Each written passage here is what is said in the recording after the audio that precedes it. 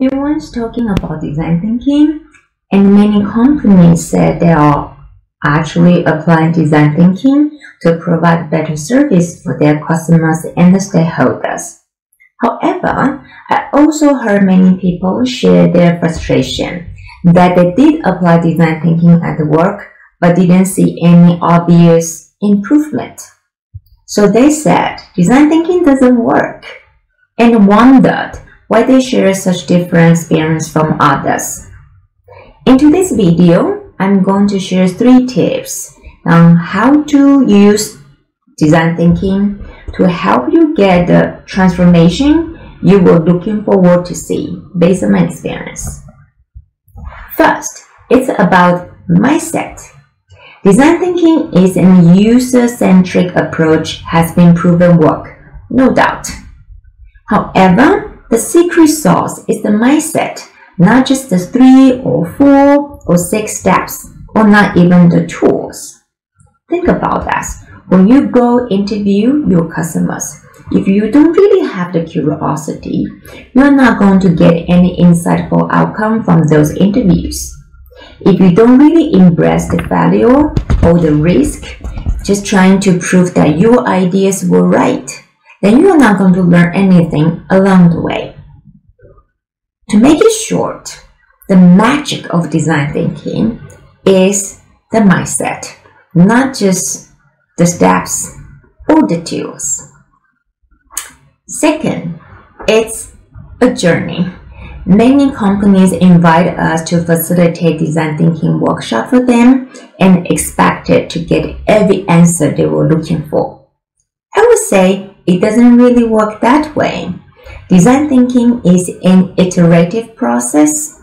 You need to take your customers and stakeholders along the journey to constantly get feedback from them, continually to improve your product or services, and always being curious what can you do differently to provide more value to them.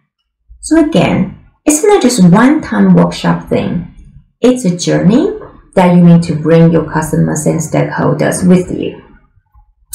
Third, it's about having a professional innovation facilitator or coach. A lot of people had design thinking trainings and got passionate about that and went back to work to facilitate design thinking workshop, which is good. Passion is a very important ingredient for innovation. However, if you are also involved into the content the KPI, the politics within the organization.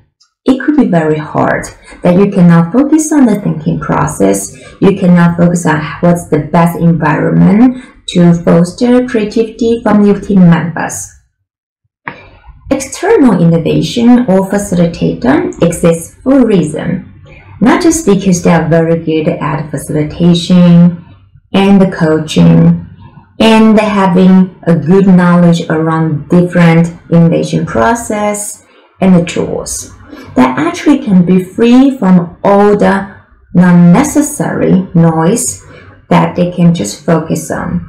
What's the best for the project to be successful? What's the best environment that can really help the team to collaborate and feel free to share their different thoughts to make it short, external innovation, consultant, and coach, they can actually create the true psychological safety that can unleash the collective genius of your member teams, your team members.